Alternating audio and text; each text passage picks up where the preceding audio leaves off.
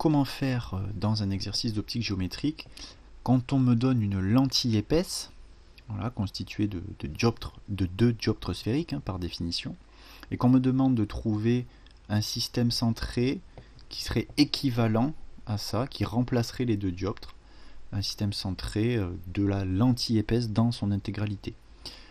Alors, on commencera euh, par un rayon incident parallèle à l'axe optique, à la hauteur que l'on souhaite, et on sait qu'il faut arriver à le faire euh, émerger, ce rayon.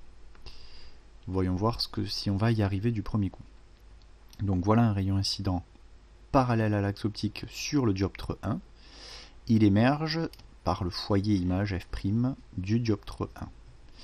Donc il émerge comme ceci. Il émerge du dioptre 1, là ça y est, il est sorti. Il veut aller sur f'1, mais quand il va rencontrer le deuxième dioptre, il va être dévié. Il voulait y aller, mais voilà. Alors comment il va être dévié? Pour l'instant, je n'en sais absolument rien je savais qu'il voulait y aller sur f'1, mais là il va changer de direction. Comme ce rayon incident sur S2 passe par f'1, mais que f'1 c'est rien de particulier pour le système 2, je ne peux pas faire émerger ce rayon là, maintenant, euh, tout de suite. Je dois faire un rayon parallèle à lui, qui va passer par un autre endroit, un endroit que je saurais gérer. Donc je vais faire un rayon parallèle qui passe par F2, le foyer objet du système 2. Parce que celui-là, je vais réussir à le faire émerger. Un rayon comme ça qui passe par F2, que ce soit réellement ou, virtuellement, là, hein, par prolongation. Ce rayon incident qui fonce sur S2, donc qui part de S1 mais qui va sur S2, je sais comment il va être dévié. Il va sortir du, système du dioptre 2 parallèle à l'axe optique. Et donc, ces deux rayons, bleu et rose, coincés euh, entre les deux systèmes S1 et S2, euh, ils sont parallèles entre eux, mais pas parallèles à l'axe optique. Donc ce qui est sûr, c'est que après S2, ils vont émerger tous les deux en passant par le même phi' 2. Et donc il me suffit de trouver phi' 2 pour euh, trouver la partie émergente de mon rayon bleu. Alors phi'2, il est à la verticale de f'2 avec un rayon émergent. Ben ça j'en ai un, c'est lui. Donc ici j'ai un phi'2. Et ben c'est par là qu'il passe aussi mon rayon bleu quand il émerge au final. Donc je reprends mon stylo bleu. Et ça y est, je peux faire émerger, hop là, à peu près comme ça, mon rayon bleu. Voilà. Du coup, j'ai un rayon bleu incident parallèle à l'axe optique qui émerge. Bon, ben déjà, je sais qu'il émerge en passant par f'. Donc ça, c'est assez... J'ai pas besoin de prolonger. Je sais que f' euh, de la lentille épaisse dans son intégralité est ici. Et je sais que ce rayon incident parallèle à l'axe optique, il a pivoté, il a changé de direction en passant par...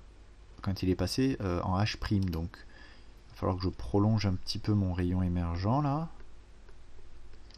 Je reprolonge mon rayon incident parallèle à l'axe optique. Et là où ils se croisent, c'est là que j'ai H'. Vers ici à peu près. On est vraiment sur des constructions dont on va vérifier la méthode, mais euh, pas la précision. Euh, on n'est pas à, au millimètre près, hein, d'accord Loin de là. On veut juste vérifier que vous avez compris la méthode. Donc ça, c'est le H' de l'association de la lentille ici, de la lentille épaisse. Il ne me reste plus qu'à euh, retrouver la partie incidente de mon rayon rose et je pourrais faire pareil pour les éléments cardinaux H et F.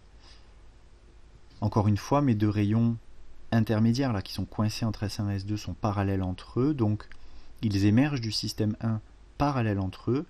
Ils sont donc passés par le même phi1 à la verticale de F1.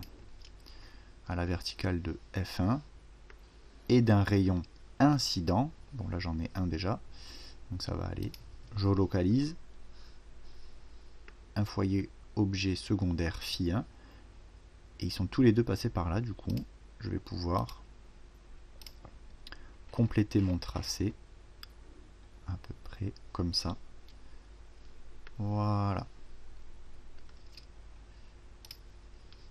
Et donc ce rayon rose, euh, il correspond à, mes, besoins dans cet exercice. C'est un rayon incident qui émerge finalement parallèle à l'axe optique. Donc c'est très bien, ça veut dire que à l'incidence, il est forcément ici passé, au niveau de l'axe optique, il est passé par F, le F euh, de l'association, et que ce rayon incident rose, eh bien, il croise le rayon émergent en H. Donc il va falloir un peu que je les prolonge pour les voir se croiser ici.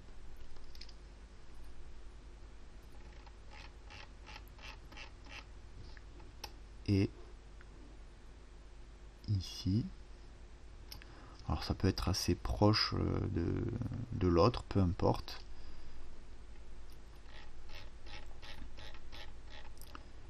Toujours est-il que j'ai montré que j'avais compris où je devais le localiser, donc à peu près par ici. Je vais le mettre juste à côté.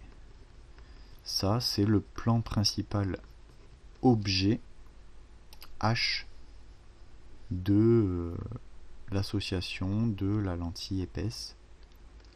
Donc là, vous avez l'exemple de, comment on trouve les éléments cardinaux d'un système centré équivalent dans le cas euh, d'une lentille épaisse.